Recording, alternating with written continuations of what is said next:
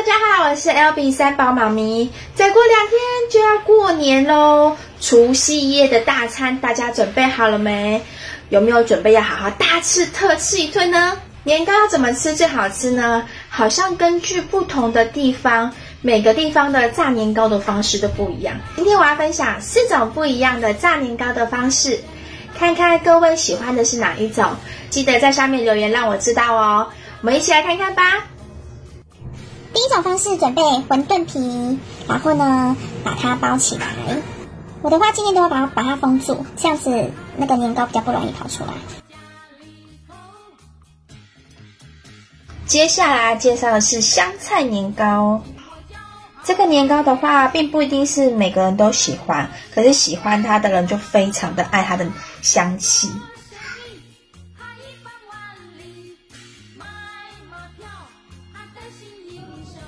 第一个要准备的是中筋面粉，面粉的话准备五十克，因为我大概炸个四到五块的年糕，然后一颗蛋，然后些许的水，搅拌的状况啊，就是大概呈糊状，不要水状，太水的话就不好炸，然后呈糊状比较好。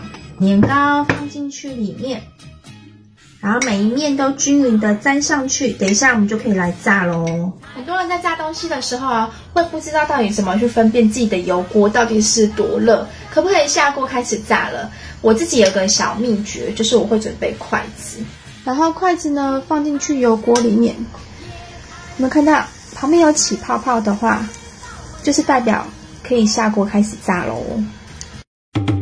好吃的年糕，哇！还有一种年糕的做法是属于比较西式的，我们可以准备起酥皮，这做起来会非常的好吃，小朋友会很喜欢哦。好，先把起酥皮对切。起酥皮买来的时候啊，都是冷冻的，所以一定要让它解冻，解冻变成这样子软软的，可以折就会比较好。